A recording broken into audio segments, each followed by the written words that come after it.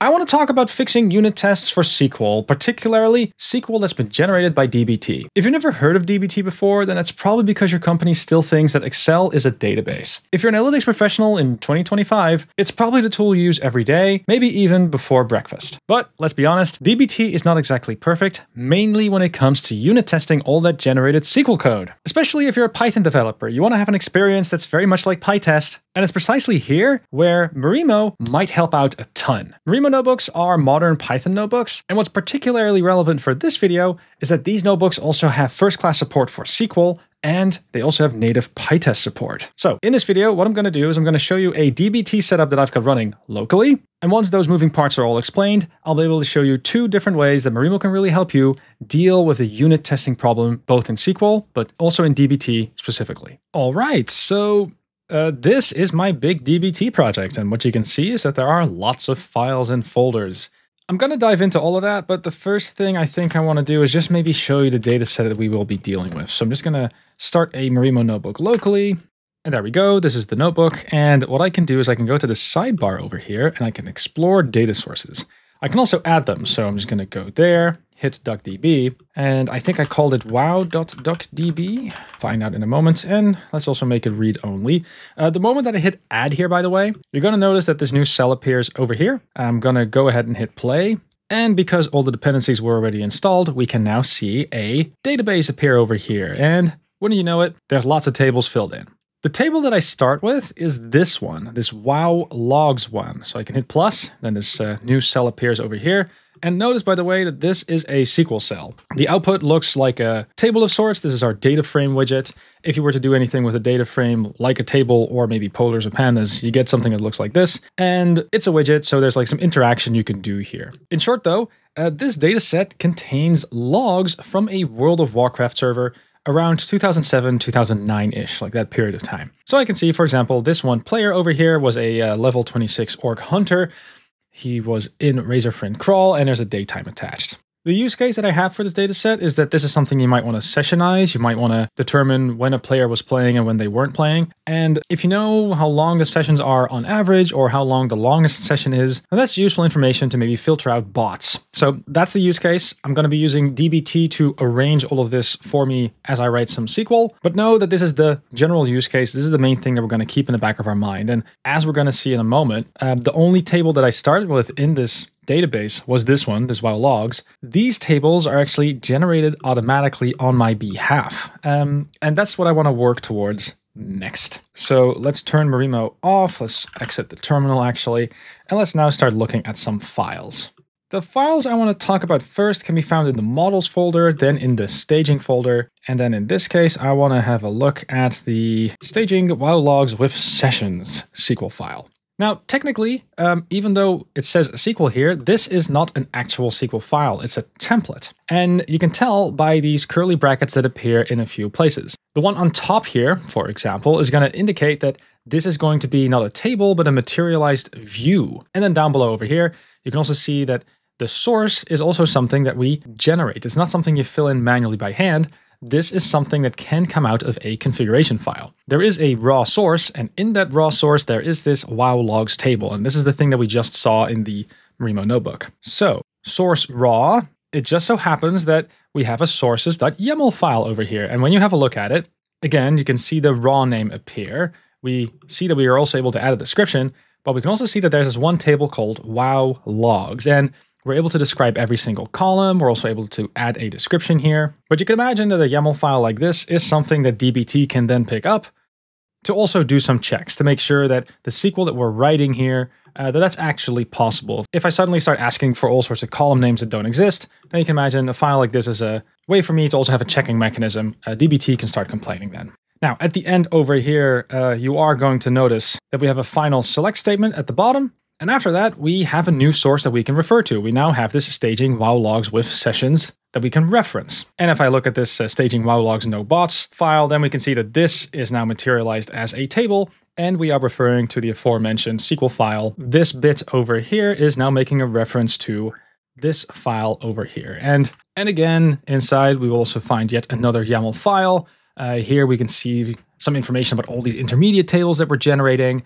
Uh, one thing that's particularly cute is you're also able to say, hey, there are a few columns in here uh, that carry a description. These are columns that are being created. And we are able to also add a few testy thingies. So we're able to say, hey, this column over here, that's never null. Check for that. But all these configuration files and all these SQL files, in the end, they will allow you to run DBT commands from the terminal. So let's start one up. Uh, let's go into this uh, WoW Analytics folder over here. And one thing I should be able to do is run dbt debug. And when I run this command, you're going to notice it's picking up a couple of YAML files. It's making sure that the configuration makes sense. It's checking some connections. You know, it's doing a whole lot of good stuff. And another thing I should be able to do as well, I think dbt run, and this is actually going to run all these commands for me. So you can see SQL tables being created. Some commands take a while longer than others, but we can see that we are now successfully completed. And this is also why when we opened up this DuckDB database in Marimo, we saw those other tables it's basically lots of SQL, lots of Jinja, lots of configuration files, all of which can go into something like GitHub. So that's all nice and central. Me and my colleagues can all work on the same file. So it solves a lot of problems. But now I want to talk about the unit testing because it's great that this stuff is centralized, but I do want to have very precise tests when it comes to doing data work. Now, in fairness, DBT does give you a mechanism to do unit tests. There is this tests folder over here, and my impression is that you can add some SQL files there where basically the rule is if you run that SQL and there are no rows that come out, that counts as a test that passed, which, you know, it can get the job done maybe in a lot of cases, but I want to have something really specific. I want to have PyTest. I want to have a programming language at my disposal to describe what I want to have tested. I want to be really precise about it. And yeah, this tests folder, again, you might get away with it, but can we come up with something that's maybe just a little bit more elegant? Okie dokie. So, one way of going about this, right, is you um, have your DuckDB table over here, and let's uh, also make it clear this is your production data, so to say. And whenever you run DBT, your production data will be in the state that it needs to be in. Just put a star there. This is what the dbt run command does. It basically takes your database and it runs all the SQL. And you might have, let's say, a raw table here somewhere, but you are going to end up with multiple tables on this size, just maybe table uh, one, maybe all the way up to table n. You're going to generate a bunch of these tables. Now, if you wanted to unit test this, one thing you could do is maybe do some hindsight checks. You could take all of these tables and you could check if there are properties that are met. The only downside of this approach is, of course, you are doing this on your production data, and these might be very big tables. You also don't want to waste compute resources. People are using this machine, right? So, one way to circumvent that is you could say, well, let's not run this on production just yet. Let's have a test environment instead. And in the case of DuckDB, it's pretty easy. You can just have a DuckDB file locally that has a subset. You can still have dbt run run. You can still generate all of these tables that you would expect. And because this is running on a, let's say, subset with data sets that we understand, we can very clearly describe our expectations. And the reason why this is going to be quite elegant in Marimo is because, again, in Marimo, we have SQL support, as we saw before, but we can also add PyTests easily. And this is going to make it such that we can define a single Marimo notebook that's very easy to edit, very easy to inspect, but we can treat it as if it's a PyTest file for all intents and purposes. So that's something that I would like to show you uh, right now. Now, before showing you the Marimo notebook, uh, one thing that's good to point out now is that I do have this profiles.yaml file around. If you go to uh, my WoW Analytics folder over here. That's where this uh, profiles.yaml file is.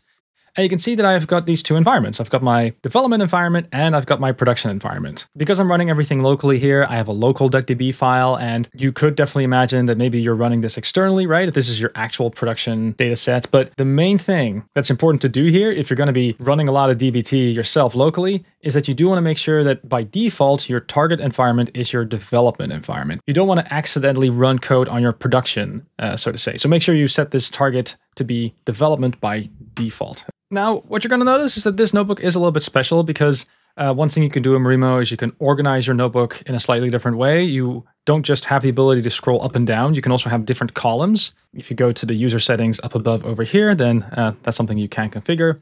When I have larger notebooks, that's definitely something I like to use. So uh, there you go. I've got some boilerplate in the first column. I'm making my database connection, basically similar to what you saw before. I've also got a SQL cell above over here that I can play with, but uh, yeah, this is for all intents and purposes, basically boilerplate. The real exciting stuff is happening here. Because what's happening here? I've got a cell below that is running a SQL statement. And what you're going to see is I'm able to do something like select star from staging wow logs no bots. That's a table that shouldn't have any bots in it. And what you're able to do is I'm, I'm hiding the output in this case, but what I am doing is I'm saying the output of this SQL statement, that has to go into a Polars data frame. You can specify a output variable down below over here. And that means that I now have a Polars data frame that I can refer to. And that's what I'm doing in this cell over here. Now, the way that this cell works is in Marimo, whenever you have a cell that only has functions, all of which start with test underscore, then Marimo is going to assume that this is a cell that just contains unit tests and that we want to run that with PyTest. And in this case, I have two kinds of tests. I have a test that says, hey, I have a couple of users from which I know for sure that they're bots, and I've also got a couple of users for which I'm sure they are normal humans. So that's why uh, test bots are caught and test normies are kept. I can put in a couple of user IDs like so. Uh, if you're familiar with PyTest, you can easily parameterize functions this way. And as you can see down below over here, this is all running like PyTest. The reason why all this works is I have DuckDB pointing to my test database, and from there I can just run SQL code as I see fit, and then use the Polars data frames that come out of it to test for properties. And in this case, yeah, I am testing uh, the shape, you could say, but I can do more than just this. I can do complex joins. I'm also able to bring in maybe machine learning libraries. I'm able to do lots of crazy stuff that I'm able to do with Python because I'm actually using Python for my unit testing here. And that's just going to give me way more flexibility compared to doing everything with SQL. So, so this would be a very convenient way for you to test your SQL. However, one downside of this approach is that this does require you to have a test database. And for a lot of situations, it's actually perfectly doable. But if you really want to do a unit test, maybe a more preferable way will be to do something like, hey, I've got a Polars data frame over here in memory, and I have a SQL file right there. I want to pretend that that one Polars data frame went through that one SQL file, and then I want to do some checks on the output of that. Kind of look at the SQL file as a stateless function, if it were. And for that, you can actually use another trick. This is a trick that will mainly work in DuckDB, unfortunately, but because DuckDB is getting more popular for good reason, I figured it would be fun to show as well. I have a function over here. It's called run SQL with mocks. And let me try and explain what it does. What I've got over here is a SQL file on disk, but one that is evaluated. So all those brackets from Jinja, they're gone, and they are filled in with the appropriate values. That SQL file, by the way, can be found if you go to this WoW Analytics folder in this target subfolder over here. You got to go to compiled. In this case, you got to go to staging. And here you are going to find all that SQL that has been evaluated on your behalf. And that's great for debugging. But in this case, that's also a place where I can just grab the SQL file. So that's where all of this comes from. But now, again, this is going to be running in DuckDB. And then what you could theoretically do is you could say, well, let's just take a string like this and let's replace it with, let's say, another string, mock underscore one. And then I've got another one like that down below over here. These are the input data frames. I'm going to call this mock underscore two. And you can do this with basic string interpolation. And in fact, that's what I'm doing in the code over here. You can see the SQL replace being called right there. But if you have a connection in memory to DuckDB, you can also call another thing. Right after you've updated the SQL, you can also tell that connection to register a data frame, and that can be a Polars data frame also in memory. And you can say, look, uh, I'm replacing the table reference with this variable name, this mock name, and then I'm saying, look, that uh, variable name over there, let's just uh, inject that with this data frame all in memory. Effectively, and there you have it, effectively what you're able to do is you're able to now generate a function like this where you can pass in the SQL that you had on disk, and then you're also able to pass a dictionary where, oh, whenever you see this reference, replace it with this data frame instead. And then users and stats, uh, that is something that I've got down below over here. This is a, a Polars data frame. I've got a second one down below over here. You can do this manually. You could also make a folder with some CSV files if you don't feel like doing this inline in a notebook. But there we go, that one SQL file. But here's the cool bit, that SQL file now actually kind of became more like a stateless function than anything else. And yeah, I'm doing a bit of string interpolation, but you can see the actual output that comes out over here. So again, I could do something like out equals, I could do something like assert out shape zero equals one, just a test basic mock but again, the main thing that's really awesome here is that you're able to turn DBT generated SQL into a proper unit test that really runs like a normal Python function. That's the really cool bit. And not only can you run this as a SQL test inside of a Marimo notebook. Uh, another thing that's also good to know is that Marimo notebooks under the hood are just Python files. So one thing I can do now is I can call pytest, and what I can now do is I can point to this notebooks folder, to the checks file. That's the name of the notebook, by the way. I can run it, and you're going to see it is actually running pytest on my behalf. And some checks take a bit longer. Uh, let's run this in verbose mode just for good measure.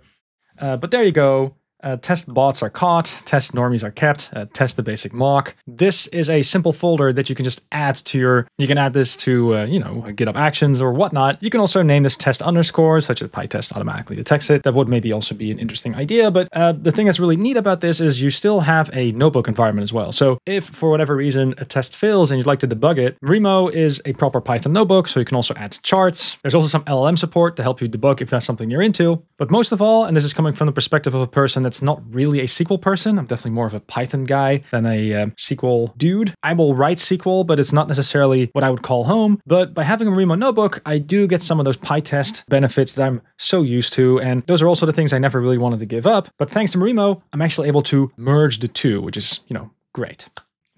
Hopefully you found this interesting. If you did, uh, a like and subscribe goes a long way. Thanks. And if you want to play around with this code, just uh, check the show notes. There's a GitHub repository that you can go ahead and copy. Thanks for listening. And if there's any questions, you can also leave any comments down below. See you next time.